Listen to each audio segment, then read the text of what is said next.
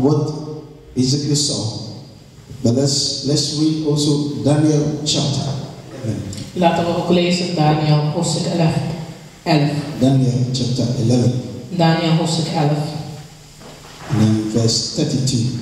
vers 32. Daniel 11. Maybe somebody will help me to read Daniel 11.